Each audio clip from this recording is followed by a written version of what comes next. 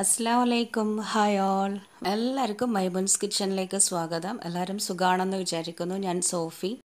ഇന്നൊരു ലഞ്ച് വ്ളോഗാണ് കാണിക്കുന്നത്. അപ്പോൾ ലഞ്ചിനെന്ന് പറയുമ്പം ചില ദിവസം നല്ല അടിപൊളി നല്ല മനസ്സിന് ഇഷ്ടപ്പെട്ട കറികളൊക്കെ ആയിരിക്കും. ചില ദിവസം മടി പിടിച്ചിട്ട് എന്താ പറയുക പെട്ടെന്ന് ഉണ്ടാക്കിയെടുക്കാൻ തട്ടിക്കൂട്ട് ലഞ്ചൊക്കെ ആയിരിക്കും ചില ദിവസങ്ങളിൽ ഉണ്ടാവുക. അപ്പോൾ ഇന്നത്തെ ലഞ്ചിൽ ഉണ്ടാക്കിയത് എന്തൊക്കെയാണെന്ന് വെച്ചാൽ തേങ്ങ അരച്ച് വെച്ചൊരു മീൻ കറിയും പിന്നെ മീൻ ഫ്രൈ ഉണ്ട്. അതുപോലെ തന്നെ പയറ് തോരനും ചെമ്മീൻ ചമ്മന്തി ഇന്നലത്തതുണ്ട്. അപ്പോൾ അതും കൂടി മിക്സ് ആക്കിയിട്ടാണ് ഇന്നത്തെ ലഞ്ച്. അപ്പോൾ ഇന്നത്തെ ഈ വ്ളോഗിൽ തേങ്ങ അരച്ച് വെച്ച മീൻ കറീന്റെ ഒരു ഡീറ്റെയിൽഡ് റെസിപ്പി ഞാൻ കാണിക്കുന്നുണ്ട്. പിന്നെ പയറ് തോരനും മീൻ പൊരിച്ചതും ആ സൈഡിൽ കൂടെ അങ്ങ് പോകുന്നുണ്ട്. ജസ്റ്റ് ഒന്ന് കാണിച്ചു പോകുന്നേ ഉള്ളൂ. അപ്പോൾ ഈ തേങ്ങ അരച്ച് വെക്കുന്ന മീൻകറി പല സ്ഥലത്തും പല രീതിയിലാണ് ഉണ്ടാക്കുക അല്ലേ? നമ്മൾ ഈ മാഹിക്കാരുണ്ടാക്കുന്ന പോലെ ആയിരിക്കില്ല ചിലപ്പം കൊച്ചിക്കാരുണ്ടാക്കുക തൃശ്ശൂരുകാരുണ്ടാക്കുന്നത് വേറെ രീതിയിലായിരിക്കും. അപ്പം ഉണ്ടാക്കുന്നതിന്റെ ആ ഒരു കുറച്ച് മാറ്റങ്ങളൊക്കെ വരുമ്പം ടേസ്റ്റിനും നല്ല മാറ്റം ഉണ്ടാകും അപ്പം ഞാനിന്ന് ഉണ്ടാക്കുന്നത് നമ്മുടെ സ്റ്റൈലിലുള്ള ഒരു മീൻ കറിയല്ല. ഇത് ഞാനൊരു വീഡിയോയിൽ കണ്ടിട്ടുണ്ടാക്കിയതാണ്. അവരുണ്ടാക്കിയ കണ്ടപ്പോൾ എനിക്കും ഉണ്ടാക്കണം തോന്നി. പ്രത്യേകിച്ചും അവർ പറയുന്നുണ്ട് നെയ്മീൻ ഉണ്ടെങ്കിൽ ഇത് നല്ല അടിപൊളിയായിരിക്കും. നെയ്മീനാണ് നമ്മൾ ഈ മീൻചാറിന് എടുക്കുന്നതെങ്കിൽ തേങ്ങാരച്ച് വെക്കുന്ന മീൻ കറിക്ക് എടുക്കുന്നതെങ്കിൽ നല്ല ടേസ്റ്റ് ആയിരിക്കും. അപ്പോൾ എന്റെ അടുത്ത് ഇന്ന് നെയ്മീനും ഉണ്ട്. അപ്പം പിന്നെ എന്തായാലും ആ സ്റ്റൈലിൽ തന്നെ ഒരു മീൻ ചാറ് ഉണ്ടാക്കാം മീൻ കറി ഉണ്ടാക്കാം എന്ന് വിചാരിച്ചു. അപ്പോൾ കിച്ചണിൽ എല്ലാവരും ഒരുമിച്ചിട്ട് തന്നെയാണ് ജോലിയൊക്കെ ചെയ്യുന്നത്. ഈ വീഡിയോയിൽ എല്ലാവരുടെയും കൈകൾ കാണും കേട്ടോ. അപ്പോൾ ആദ്യം തന്നെ തോരന് വേണ്ടിയിട്ടുള്ള പയറും ഇവിടെ റെഡിയാക്കി എടുക്കുകയാണ്. രണ്ട് സൈഡും നന്നായിട്ടൊന്നങ്ങ് കട്ട് ചെയ്തിട്ട് ക്ലീൻ ചെയ്തെടുക്കണം. എന്നിട്ട് ചെറുതായിട്ട് അരിഞ്ഞെടുക്കണം. എല്ലാവർക്കും അറിയുന്നതായിരിക്കും പയർ തോരൻ എങ്ങനെയാണ് ഉണ്ടാക്കുന്നതെന്നുള്ളത് അപ്പം ഞാനിത് ജസ്റ്റ് ഒന്ന് കാണിക്കുന്നതെന്നേ ഉള്ളൂ. കട്ട് ചെയ്യുന്നതിന്റെ ഒരു ഇത് കാണിക്കാമെന്ന് വിചാരിച്ചിട്ടാണ് തോരൻ കാണിക്കുന്നത് കേട്ടോ.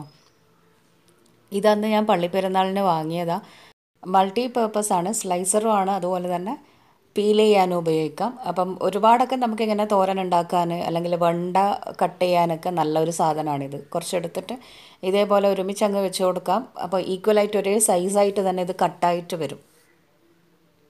പിന്നെ ആദ്യം ആദ്യമൊക്കെ ഒരു ബുദ്ധിമുട്ടുണ്ടാവും. നമുക്കിത് കയ്യിൽ പിടിക്കാൻ ഫസ്റ്റ് ടൈമൊക്കെ ചെയ്യുമ്പം.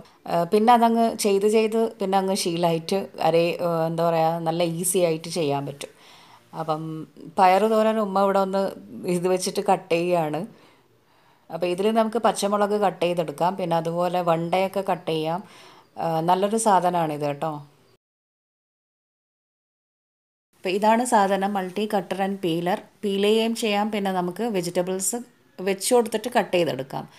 അപ്പം ഇതിലുള്ള ബ്ലേഡ് മാറ്റാനൊന്നും പറ്റില്ല പക്ഷേ ഭയങ്കര എന്താ പറയുക നല്ല സ്ട്രോങ് ആണ്. അതുപോലെ തന്നെ നല്ല മൂർച്ചയും ഉണ്ട്. അപ്പം തോരന് വേണ്ടിയിട്ടുള്ള പയറൊക്കെ അവിടെ അരിഞ്ഞു വെച്ചിട്ടുണ്ട്. ഞാനിപ്പോൾ ഇത് തേങ്ങ അരച്ചിട്ട് വെക്കുന്ന മീൻകറിക്ക് വേണ്ടിയിട്ടും അതുപോലെ തന്നെ പൊരിക്കാൻ വേണ്ടിയിട്ടുള്ള നെയ്മീനാണ് ഇവിടെ എടുത്തു വെച്ചത്. അപ്പോൾ കുറച്ചെടുത്തിട്ട് പൊരിക്കുകയും ചെയ്യാം. കുറച്ച് വലിയ വലിയ പീസസ് പൊരിക്കാനും എടുക്കാം. പിന്നെ അതുപോലെ തന്നെ കുറച്ചെടുത്തിട്ട് മീൻ ചാറും ഉണ്ടാക്കാം. പിന്നെ നെയ്മീനിൽ നല്ല കട്ടിയുള്ള തോലുണ്ടാവും. അപ്പോൾ അതൊക്കെ അവർ കട്ട് ചെയ്തിട്ട് തരും. നന്നായിട്ട് ഇപ്പം ഞാൻ ക്ലീൻ ചെയ്ത് വെച്ചിട്ടുണ്ട്. ഈ തേങ്ങ അരച്ച് വെക്കുന്ന മീൻകറീനെ നമ്മൾ ചാറ് എന്നാണ് പറയാം. നിങ്ങളും അങ്ങനെ ആയിരിക്കുമല്ലേ പറയാൻ? അപ്പം മീൻ ഇവിടെ എടുത്ത് വെച്ചിട്ടുണ്ട്. ഇനി ബാക്കിയുള്ള കാര്യങ്ങൾ നോക്കാം. കുറച്ച് ഇഞ്ചിയും വെളുത്തുള്ളിയും ഒന്നുകിൽ കട്ട് ചെയ്തെടുക്കാം അല്ലെങ്കിൽ ചതച്ചെടുക്കാം. അപ്പം ഒരു അഞ്ച് പത്ത് വെളുത്തുള്ളിയും ഒരു ചെറിയ കഷ്ണം ഇഞ്ചിയും ഞാനിപ്പം കട്ട് ചെയ്തെടുത്ത് വെച്ചിട്ടുണ്ട്. പിന്നെ വേണ്ടതൊരു പത്തോളം കുഞ്ഞുള്ളി വേണം. നാലഞ്ച് പച്ചമുളക് എടുത്തിട്ടുണ്ട്. തേങ്ങ അരക്കാനായിട്ട് ഞാനിപ്പോൾ ഒരു മുക്കാൽ കപ്പ് തേങ്ങ എടുത്തിട്ടുണ്ട്. അതായത് ഒരു അരമുറി തേങ്ങ ഞാൻ ചിരവി എടുത്തിട്ട് അതിന്റെ ഒരു അരഭാഗം മാത്രമേ എടുത്തിട്ടുള്ളൂ. പിന്നെ കുറച്ച് കറിവേപ്പില വേണം. പൊടികളായിട്ട് ഞാനിപ്പോൾ ഇവിടെ മുളക് പൊടി മഞ്ഞൾപ്പൊടി മല്ലിപ്പൊടി മൂന്നും എടുത്തിട്ടുണ്ട്. ഇതൊക്കെ ഇടുമ്പം ഞാൻ അളവ് എത്രയാണെന്നുള്ളത് പറഞ്ഞുതരാം. ഇനി അടുത്തതായിട്ട് പുളിവെള്ളമാണ് വേണ്ടത്. അപ്പം ഞാനിപ്പോൾ ഒരു നെല്ലിക്ക വലിപ്പത്തിലുള്ള പുളി എടുത്തിട്ട് ഒരു അര ഗ്ലാസ്സോളം വെള്ളത്തിലിട്ടിട്ട് കുതിർത്ത് വെച്ചിട്ടുണ്ട്. ഇനി നന്നായിട്ട് ഒന്നങ്ങ് കൈകൊണ്ട് പിഴിഞ്ഞെടുക്കണം. ഇതിന്റെ കൂട്ടത്തിൽ ഒരു മീഡിയം സൈസിലുള്ള തക്കാളിയും വേണം. അതിവിടെ കാണിക്കാൻ എന്റെ അടുത്ത് വിട്ടുപോയതാണ്. അപ്പോൾ ഈ ഒരു കറിക്ക് വേണ്ടിയിട്ട് ആദ്യം തേങ്ങ അരപ്പാണ് റെഡിയാക്കേണ്ടത്. അതിനായിട്ട് ഞാനിപ്പോൾ ഒരു നോൺ സ്റ്റിക്കിന്റെ പാനിലേക്ക് കുറച്ച് വെളിച്ചെണ്ണ ഒഴിച്ച് കൊടുത്തിട്ടുണ്ട്. ഒരു രണ്ട് മൂന്ന് ടേബിൾ സ്പൂൺ മതിയാവും. അതിലേക്ക് നമ്മൾ നേരത്തെ അരിഞ്ഞു വെച്ചിട്ടുള്ള ഇഞ്ചിയും വെളുത്തുള്ളിയും ചേർത്ത് കൊടുക്കാം. ഇനി ഇതിന്റെ ആ ഒരു പച്ചമണം മാറുന്നത് വരെ എണ്ണയിൽ നന്നായിട്ടൊന്നങ്ങ് വഴറ്റിയെടുക്കാം. അപ്പം നമ്മളിവിടെ ചാറുണ്ടാക്കുന്ന നേരത്ത് ഇഞ്ചിയും വെളുത്തുള്ളിയൊക്കെ നമുക്ക് കറിയിൽ നിന്ന് മീനിന്റെ കൂടെ തന്നെ കടിക്കാനായിട്ട് കിട്ടും. പക്ഷേ ഈ ഒരു കറിയിൽ അതൊന്നും ഉണ്ടാവില്ല. എല്ലാം കൂടെ മിക്സിയിലൊന്ന് തേങ്ങന്റെ കൂടെ അരച്ചെടുക്കുക ചെയ്യുക അപ്പോൾ ഇഞ്ചിയും വെളുത്തുള്ളി അത്യാവശ്യം ആ എണ്ണയിലൊന്ന് നന്നായിട്ട് വാടി വന്നിട്ടുണ്ട്. ആ പച്ചമണമൊക്കെ മാറിയിട്ടുണ്ട്. ഇനി നമുക്കിതിലേക്ക് കുറച്ച് പൊടികൾ ചേർത്ത് കൊടുക്കാം. അപ്പം ഞാനിപ്പം ഒരു ടീസ്പൂൺ മഞ്ഞൾപ്പൊടി രണ്ടര ടേബിൾ സ്പൂണോളം മുളക് പൊടി ഒരു ടേബിൾ സ്പൂൺ മല്ലിപ്പൊടി എന്നിവ ചേർത്ത് കൊടുത്തിട്ടുണ്ട്. എന്നിട്ട് ഇതെല്ലാം കൂടെ നന്നായിട്ടൊന്നങ്ങ് മിക്സാക്കിയെടുക്കാം. ഈ പൊടികൾ ചേർക്കുമ്പം ഫ്ലെയിം വളരെ ലോ ആക്കിയിട്ട് വെക്കുക. ഇല്ലെങ്കിൽ പെട്ടെന്ന് അങ്ങ് കളറൊക്കെ മാറി കരിഞ്ഞു പോകും. പിന്നെ കറിക്ക് അത്ര വലിയ ടേസ്റ്റ് തോന്നൂല. അപ്പം ഞാനിപ്പം ഫ്ലെയിം നന്നായിട്ട് ലോ ആക്കി വെച്ചിട്ടുണ്ട്. ഇനി ഇത് എണ്ണയിലിട്ടിട്ട് ആ പൊടികളുടെ പച്ചമണം മാറുന്നത് വരെ എണ്ണയിലൊന്ന് നന്നായി വഴറ്റിയെടുക്കാം. അപ്പോൾ ഈ പൊടികളുടെയൊക്കെ പച്ചമണമൊക്കെ മാറി എണ്ണയിൽ നന്നായിട്ട് ഇപ്പം പിടിച്ചിട്ടുണ്ട്. ഇനി നമുക്ക് ഫ്ലെയിം ഓഫ് ചെയ്യാം. ഫ്ലെയിം ഓഫ് ചെയ്തിട്ട് ഞാനിപ്പോൾ ഇതിലേക്ക് എടുത്തു വെച്ചിട്ടുള്ള തേങ്ങ ചേർത്ത് കൊടുക്കുകയാണ്. അപ്പം ഇനിയിപ്പം ഈ തേങ്ങ നന്നായിട്ട് ആ മുളകിലൊന്ന് മിക്സാക്കി എടുക്കണം. നല്ലൊരു റെഡിഷ് കളർ കിട്ടും. അപ്പം ഈ ഒരു സ്റ്റേജാണ് നമ്മുടെ മാഹിക്കാരുടെ ചാറിൽ നിന്ന് മീൻ ചാറിൽ നിന്നും ഈ ഒരു കറിയെ വ്യത്യാസം വരുത്തുന്നത്. അപ്പോൾ അതിന്റെതായ ഒരു ടേസ്റ്റിന് മാറ്റവും എന്തായാലും ഈ കറിയിലുണ്ട്. വിചാരിച്ച പോലെയല്ല നല്ലൊരു കറിയാണ്. നമ്മൾ നല്ലൊരു ഹോട്ടലിലൊക്കെ പോയിട്ട് കഴിക്കുന്ന അതേ കറിയുടെ ഒരു ടേസ്റ്റ് ഉണ്ട്. അപ്പം തേങ്ങ ഇപ്പം നന്നായിട്ട് മുളകിലൊക്കെ പിടിച്ച് നന്നായി മിക്സായി വന്നിട്ടുണ്ട്. ഇനി ഇത് ചൂടാറിയാൽ നമുക്ക് അരച്ചെടുക്കാം. ഇനി ഞാനിപ്പം മീൻ രണ്ടായിട്ട് മാറ്റി വെച്ചിട്ടുണ്ട്. പൊരിക്കാനുള്ളതും അതുപോലെ തന്നെ മീൻ ചാറിന് വേണ്ടിയിട്ടുള്ളതും വേറെ വേറെ പാത്രത്തിൽ വെച്ചിട്ടുണ്ട്. ഇനി പൊരിക്കാനുള്ളതിലേക്ക് നമുക്ക് എന്ത് ചെയ്യാം? മാരിനേറ്റ് ചെയ്ത് വെക്കാം. കുറച്ച് മുളക് പൊടി മഞ്ഞൾപ്പൊടി ആവശ്യത്തിനുള്ള ഉപ്പ് അതുപോലെ തന്നെ ഈ മസാലയൊക്കെ ഒന്ന് പിടിച്ച് വരാനായിട്ട് കുറച്ച് ഓയിലും കൂടെ ഒഴിച്ചു കൊടുക്കാം. എന്നിട്ട് നന്നായിട്ട് നന്നായിട്ടൊന്നങ്ങ് മിക്സ് ആക്കി എടുക്കാം ഈ പൊരിച്ചതിൽ ഞാൻ പ്രത്യേകിച്ച് വേറെ ഇൻഗ്രീഡിയൻസ് ഒന്നും ചേർക്കുന്നില്ല. മുളകും മഞ്ഞൾപ്പൊടിയും മാത്രമേ ചേർക്കുന്നുള്ളൂ. പിന്നെ മസാല പിടിക്കാനായിട്ട് കുറച്ച് ഓയിലും കൂടെ ചേർത്ത് കൊടുക്കുന്നുണ്ട്. ഇനി എല്ലാം കൂടെ നന്നായിട്ടൊന്നങ്ങ് മിക്സാക്കി എടുക്കാം മീൻ പൊടിഞ്ഞു പോവാണ്ട് ശ്രദ്ധിക്കണം. എന്നിട്ട് സാവധാനത്തിലൊന്ന് മിക്സാക്കിയാൽ മതി. അങ്ങനെ മീനിപ്പം ഞാൻ മിക്സാക്കി വെച്ചിട്ടുണ്ട്. അപ്പോഴേക്കും നമ്മുടെ പയറ് തോരനും കടുകിട്ട് വെച്ചിട്ടുണ്ട്. ഈ പയറ് തോരന്റെ വീഡിയോ ഒന്നും എനിക്ക് കംപ്ലീറ്റ് എടുക്കാൻ പറ്റിയിട്ടില്ല. അപ്പോൾ ഇനി നമുക്ക് തേങ്ങ കറിക്ക് വേണ്ടിയിട്ടുള്ള തേങ്ങ അരച്ചെടുക്കാം. അപ്പം ഞാനിപ്പോൾ മിക്സീന്റെ വലിയ ജാർ എടുത്തിട്ടുണ്ട്. അതിലേക്ക് ഈ ചൂടാറിയിട്ടുള്ള തേങ്ങ മിക്സ് നമുക്ക് ഇട്ട് കൊടുക്കാം. എന്നിട്ട് പ്രത്യേകിച്ച് വെള്ളമൊന്നും ചേർക്കണമെന്നില്ല. ഇനി അരഞ്ഞ് കിട്ടുന്നില്ല എന്നുണ്ടെങ്കിൽ മാത്രം കുറച്ചൊരു കാൽ ഗ്ലാസ് ഒക്കെ വെള്ളം ഒഴിച്ച് കൊടുത്തിട്ട് അരച്ചെടുത്താൽ മതി. അപ്പം നമ്മുടെ മീൻ കറിയൊക്കെ ഉണ്ടാക്കുമ്പം തേങ്ങയിലേക്ക് ഡയറക്റ്റായിട്ട് തന്നെ പച്ചയായിട്ട് തന്നെ മുളകും മഞ്ഞളും മല്ലിയൊക്കെ ഇട്ട് കൊടുക്കാറാണ്.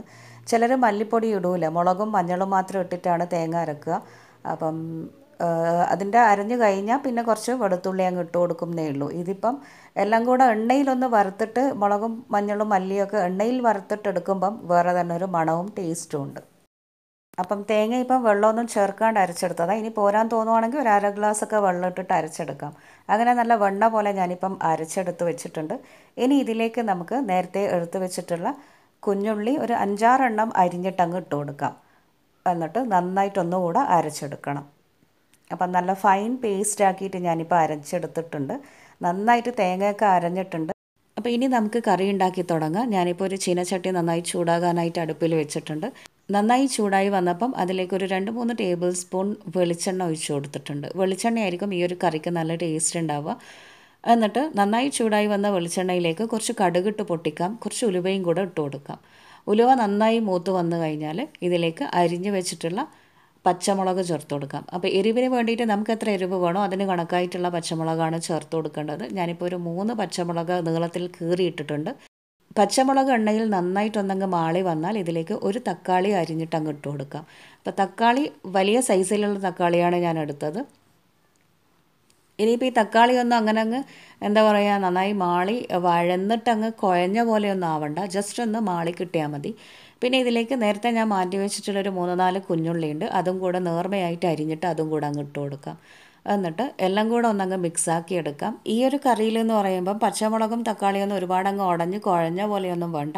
നമുക്ക് സാധാരണ ചില ഹോട്ടലിൽ നിന്നൊക്കെ കാണുന്നില്ലേ മീനിന്റെ കൂടെ തന്നെ തക്കാളിയാണ് കൂടുതലായിട്ട് കാണുക വെലിങ്ങനെയായിട്ട് കാണുക. അപ്പോൾ അങ്ങനെയുള്ളൊരു കറിയാണിത്. അപ്പോൾ അതുകൊണ്ട് തക്കാളി ഉടച്ചെടുക്കണം എന്നില്ല പിന്നെ അടുത്തതായിട്ട് നമുക്കിതിലേക്ക് കുറച്ച് പുളിവെള്ളമാണ് ചേർത്ത് കൊടുക്കേണ്ടത്. അപ്പം നേരത്തെ പിഴിഞ്ഞെടുത്ത പുളിവെള്ളത്തിൽ നിന്ന് ഒരു രണ്ട് മൂന്ന് ടേബിൾ സ്പൂണൊക്കെ ചേർത്ത് കൊടുത്താൽ മതി. നല്ല കട്ടിയുള്ള പുളിവെള്ളമാണെങ്കിൽ ഒരു രണ്ട് മൂന്ന് ടേബിൾ സ്പൂൺ ചേർത്ത് കൊടുക്കാം.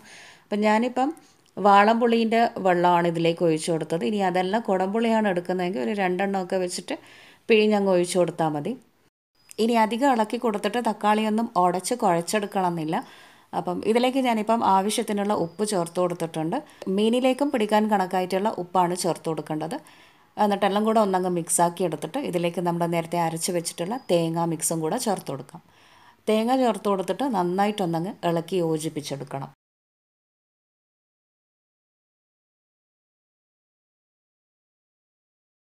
അപ്പോൾ ഈ തേങ്ങ അരപ്പും ആ എണ്ണയിലൊക്കെ കിടന്നിട്ട് ഒന്നങ്ങ് നന്നായി വഴന്ന് വന്നിട്ടുണ്ട്. ഇനി ഇതിലേക്ക് നമുക്ക് കുറച്ച് വെള്ളം ചേർത്ത് കൊടുക്കാം. അപ്പം മിക്സിയിൽ ഞാനിപ്പോൾ ഒരു രണ്ട് ഗ്ലാസ്സോളം വെള്ളം ഒഴിച്ചിട്ടുണ്ട്. കുറേ തേങ്ങയുടെ മിക്സൊക്കെ ആ ഒരു മിക്സിയിലുണ്ട്. അപ്പോൾ അതൊക്കെ കൂടെ കഴുകിയിട്ട് അങ്ങ് ഒഴിച്ചു കൊടുക്കാം. ഒരു രണ്ട് രണ്ടര ഗ്ലാസ് വെള്ളം അങ്ങ് ഒഴിച്ചു കൊടുക്കാം. അപ്പോൾ ഇനി എല്ലാം നന്നായിട്ടൊന്നങ്ങ് ഇളക്കി യോജിപ്പിച്ചെടുത്തിട്ട് കുറച്ച് കറിവേപ്പിലയും കൂടെ വിതറിയിട്ട് നമുക്കിത് അടച്ച് വെച്ച് ഹൈ ഫ്ലെയിമിൽ ഒന്നങ്ങ് തിളപ്പിച്ചെടുക്കാം. അപ്പം ഈ ഗ്രേവി നന്നായിട്ടൊന്നങ്ങ് തിളച്ചിട്ട് കുറച്ചൊന്ന് കുറുകി വരും. കറിയൊക്കെ ആയി വരുമ്പോഴേക്കും ഒന്നങ്ങ് കുറുകി വരും. അപ്പോൾ അതിന് കണക്കായിട്ടുള്ള വെള്ളമാണ് നമ്മൾ ഇതിലേക്കിപ്പം ഒഴിച്ചു കൊടുക്കേണ്ടത്. അപ്പം ഞാനിപ്പം കുറച്ച് കറിവേപ്പില ഇട്ടിട്ടുണ്ട്. ഇനി ഇത് നന്നായിട്ടൊന്നങ്ങ് മിക്സ് ആക്കിയിട്ട് അടച്ച് വെച്ച് ഹൈ ഫ്ലെയിമിൽ നന്നായിട്ടൊന്ന് തിളപ്പിച്ചെടുക്കാം. അപ്പോൾ അതവിടെ തിളക്കുന്ന സമയത്തേക്കും നമുക്ക് മീൻ പൊരിക്കാം. ഒരു പാനിൽ കുറച്ച് ഓയിലും കറിവേപ്പിലയും ഇട്ട് നന്നായി ചൂടാക്കി എടുത്തിട്ട് മാരിനേറ്റ് ചെയ്ത് വെച്ചിട്ടുള്ള മീനങ്ങ് ഇട്ട് കൊടുക്കാം. അപ്പം മീൻ ഒരുപാട് ഹൈ ഫ്ലെയിമിൽ വെച്ചിട്ട് പൊരിച്ചെടുക്കണ്ട. ഞാനിപ്പോൾ ഒരു മീഡിയം ലോ ഫ്ലെയിമിലാണ് വെച്ചിട്ടുള്ളത്. അപ്പോഴേക്കും നമ്മുടെ ചാറിനുള്ള തേങ്ങ അരപ്പ് നന്നായിട്ട് തിളച്ച് വന്നിട്ടുണ്ട്. ഇതിപ്പം കുറച്ച് വെള്ളമൊക്കെ ഒന്ന് വറ്റി വരുന്നുണ്ട്. അപ്പം കൂടുതലായിട്ട് നമ്മൾ മീനിട്ടൊന്ന് തിളപ്പിച്ചെടുക്കുമ്പോഴേക്കും കുറച്ചും കൂടെ ഒന്ന് വറ്റി വരും. അപ്പോൾ അതുകൊണ്ട് ഞാൻ എന്താ ചെയ്തതെന്ന് വെച്ചാൽ നല്ല തിളച്ച വെള്ളം ഒരു ഗ്ലാസ് അങ്ങ് ഒഴിച്ചു കൊടുത്തിട്ടുണ്ട്. ഈ സമയത്ത് പച്ചവെള്ളം ഒഴിച്ചു കൊടുക്കരുത്. അപ്പം കറിക്കൊരു വെള്ളത്തിന്റെ ടേസ്റ്റ് വന്നു പോകും അതുകൊണ്ട് നല്ല തിളച്ച വെള്ളം തന്നെ ഇതിലേക്ക് അങ്ങ് ഒഴിച്ചു കൊടുക്കാം. അപ്പം ഈ മീൻ ഇടുന്നതിന് മുമ്പ് നമ്മൾ ഈ വെള്ളം അങ്ങ് ഒഴിച്ചു കൊടുക്കണം. എന്തിനാന്ന് വെച്ചാൽ മീനിട്ട് കഴിഞ്ഞാൽ നമുക്കിത് അധികം കയ്യിൽ വെച്ചിട്ടൊന്നും ഇളക്കാൻ പറ്റൂല. അത് മാത്രമല്ല ഈ മീനിട്ട് കഴിഞ്ഞാൽ പിന്നെ ഇതൊന്ന് ഈ ഒരു ചാറ് ഒന്ന് തിളച്ച് കുറുകിയൊക്കെ വരും. അപ്പോൾ കൂടുതൽ കുറുകി കൂടുതൽ ടൈറ്റായി ഡ്രൈ ആയ പോലെ ആയി വന്നാൽ നമുക്ക് ചാറ് കൂട്ടാനും അത്ര ടേസ്റ്റ് ഉണ്ടാവില്ലല്ലോ. അപ്പം അതിന് വേണ്ടിയിട്ടാണ് ഞാൻ ഇപ്പം കുറച്ച് വെള്ളം ഒഴിച്ചു കൊടുത്തത്. ഇനി ഇതിലേക്ക് നമുക്ക് മീനിട്ട് കൊടുക്കാം. എന്നിട്ട് ഒന്നങ്ങ് ഇളക്കി കൊടുക്കാം. അപ്പം പച്ചമീനായതുകൊണ്ട് ഇപ്പം കയ്യിലിട്ട് ഇളക്കുന്നത് പ്രശ്നമല്ല. കുറച്ചും കൂടെ ഒന്ന് വെന്ത് കഴിഞ്ഞാൽ പിന്നെ കയ്യിലിട്ട് ഇളക്കുമ്പം പൊടിഞ്ഞു പോകും മീൻ. അപ്പോൾ അതുകൊണ്ട് എന്താ ചെയ്യേണ്ടതെന്ന് വെച്ചാൽ ജസ്റ്റ് ഒന്ന് ഇളക്കി കൊടുക്കാം. കുറച്ച് കറിവേപ്പില ഇട്ട് കൊടുക്കാം. ഇനി ആ മീൻ ഒന്ന് വെന്ത് വരാനായിട്ട് നമുക്ക് എന്ത് ചെയ്യാം? ഒരു ഹൈ ഫ്ലെയിമിൽ ഒരു അഞ്ചെട്ട് മിനിറ്റ് അങ്ങനെ അടച്ചു വെക്കാം. അപ്പോഴേക്കും നമ്മുടെ പൊരിക്കാൻ വെച്ച മീൻ കണ്ടോ? നെയ് മീൻ. ആ നെയ്യൊക്കെ ഇറങ്ങി തുടങ്ങിയിട്ടുണ്ട്. ഒരു ഭാഗം ചെറുതായിട്ടൊന്ന് മൊരിഞ്ഞു വന്നാൽ അടുത്ത ഭാഗം കൂടെ തിരിച്ചിട്ട് കൊടുത്തിട്ട് നന്നായി പൊരിച്ചെടുക്കാം. അപ്പോഴേക്കും നമ്മുടെ ചാറ് നന്നായി തിളച്ച് തുടങ്ങിയിട്ടുണ്ട്. മീൻ ഒന്നുകൂടെ വേവാനുണ്ട്. പിന്നെ അതുപോലെ തന്നെ ഗ്രേവിയിലേക്ക് ആ ഒരു സത്തൊക്കെ ഇറങ്ങി വരണം. അപ്പം ഞാനിപ്പോൾ ഇതൊന്ന് ചട്ടി ഒന്ന് നന്നായിട്ട് അങ്ങ് ചുറ്റിച്ചു കൊടുക്കുകയാണ്. മീൻ കയ്യിലിട്ട് ഇളക്കണ്ടെന്ന് വിചാരിച്ചിട്ടാണ് ഇങ്ങനെ ചുറ്റിക്കുന്നത്. കാരണം ഇനി ഇനിയിപ്പം നമ്മൾ കയ്യിലിട്ട് ഇളക്കി കൊടുത്താൽ മീനൊക്കെ ഒന്ന് പൊടിഞ്ഞു പോകാനാണ് ചാൻസ്. അപ്പോൾ അതുകൊണ്ട് ഒന്നിങ്ങനെ ചട്ടി എടുത്ത് ചുറ്റിച്ചു കൊടുത്താൽ മതി. ഇനി ഇത് ഒന്നുകൂടെ ഒരു അഞ്ച് മിനിറ്റ് ഹൈ ഫ്ലെയിമിൽ തന്നെ തുറന്നിട്ട് വെക്കാം. അപ്പോഴേക്കും അത്യാവശ്യം ഗ്രേവി ഒന്ന് തിക്കായി വരും. മീനൊക്കെ ആവശ്യത്തിന് വെന്ത് വരും. എന്നിട്ട് ഫ്ലെയിം അങ്ങ് ഓഫ് ചെയ്യാം. അങ്ങനെ ഞാൻ അഞ്ച് മിനിറ്റിന് ശേഷം പിന്നെ ഫ്ലെയിം അവിടെ ഓഫാക്കിയിട്ടുണ്ട് ഇപ്പോൾ ഏകദേശം ഒരു പത്ത് പതിനഞ്ച് മിനിറ്റൊക്കെ കഴിഞ്ഞിട്ടുണ്ട്. നമുക്ക് ഈ കറി ഒന്ന് തുറന്ന് നോക്കാം. എങ്ങനെ ഉണ്ട് എന്നുള്ളത്. നല്ലൊരു ഗ്രേവി ആയിട്ട് കിട്ടിയിട്ടുണ്ട്. നല്ല തിക്കായിട്ടുള്ള ഗ്രേവി ആയി വന്നിട്ടുണ്ട്. മീനൊക്കെ ആവശ്യത്തിന് വെന്തിട്ടുമുണ്ട് ഇനി നമുക്കിത് നല്ല ചൂട് ചോറിന്റെ കൂടെ തിന്നാം. നല്ല ടേസ്റ്റി ആയിട്ടുള്ളൊരു കറിയാണ്. നമ്മൾ ഉണ്ടാക്കുന്ന ആ ഒരു നമ്മുടെ സ്ഥിരം മീൻ ചാറിൽ നിന്നും ചെറുതായിട്ടൊരു വ്യത്യാസമൊക്കെ ഉണ്ട്. അതായത് എന്തോ ആ ഒരു ഒരു തേങ്ങ അരപ്പിന്റെതായിരിക്കും ശരിക്കും ആ ഒരു ടേസ്റ്റ് അപ്പം നല്ലൊരു ടേസ്റ്റ് എനിക്ക് ഏതെല്ലോ ഹോട്ടലിൽ നിന്ന് നല്ലൊരു ഹോട്ടലിൽ പോയിട്ട് കഴിച്ചൊരു ടേസ്റ്റൊക്കെ ഉണ്ട് കേട്ടോ എന്തായാലും. അപ്പം നല്ലൊരു ടേസ്റ്റി ആയിട്ടുള്ളൊരു കറിയാണിത്. അങ്ങനെ എല്ലാം കൂടെ ഒരു പ്ലേറ്റിലേക്ക് ഇപ്പം സെർവ് ചെയ്യാണ്.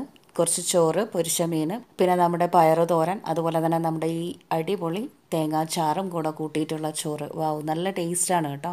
ഈ ഒരു ചാറ് ഇതേപോലെ ഉണ്ടാക്കി നോക്കൂ. വീട്ടിൽ ഇതുവരെ ഉണ്ടാക്കാത്തവർ ഇതേ സ്റ്റൈലിൽ ഒന്ന് ഉണ്ടാക്കി നോക്കൂ. ഒരു പ്രത്യേക ടേസ്റ്റ് തന്നെയാണ്. അപ്പം വീഡിയോ കണ്ടിട്ട് ഇഷ്ടമായാൽ നിങ്ങളിത് എന്തായാലും വീട്ടിൽ ഉണ്ടാക്കി നോക്കണം എന്നിട്ട് എന്നോട് അഭിപ്രായം പറയുകയും ചെയ്യണം. ഉണ്ടാക്കിയവരാണ് ഇത് സ്ഥിരം ഉണ്ടാക്കുന്നവരാണെങ്കിൽ എന്നെ സപ്പോർട്ട് ചെയ്യാനും മറക്കരുത്. അപ്പം നെക്സ്റ്റ് റെസിപ്പീസുമായി നമുക്ക് വീണ്ടും കാണാം. Keep watching My Mom's Kitchen. Take care and bye. Thank you.